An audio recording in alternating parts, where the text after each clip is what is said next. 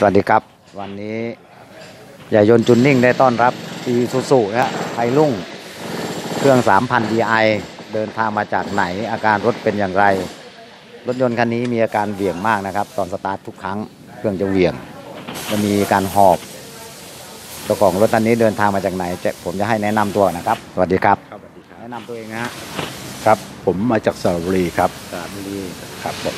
ก็อาการครั้งแรกก็ ติดยากนิดนึง แล้วก็ต่อมาก็อัตราการเร่งมันจะขึ้นช้าอืมครับ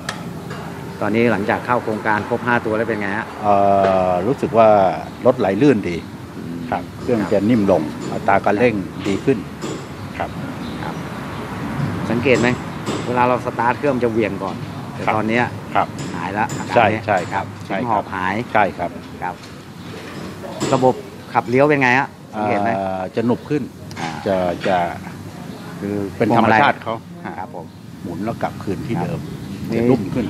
จะเดินทางไปไหนต่อครับตอนเนี้ยเออก็คงกลับสระบุรีกลับสระบุรีคแล้วก็จะไป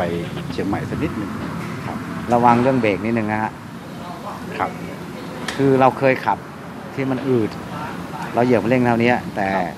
สมมุติเราเหยียบคันเร่งเท่าเท่าเดิมนี่ร้อยหนึ่งมันกลายเป็นร้อยสิบร้อยยี่เลยนะครับครับต้องวางเรื่องเบรกหลายคันแล้วครับขอบคุณครับครับผมขอบคุณครับ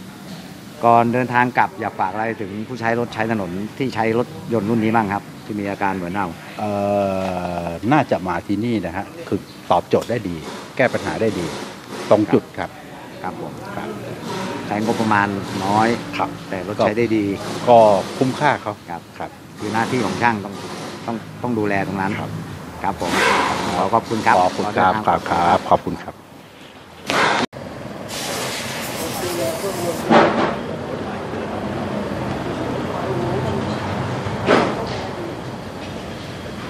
เ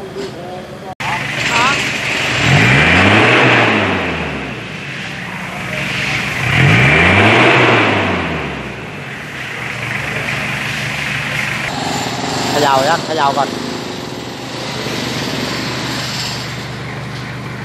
อ่า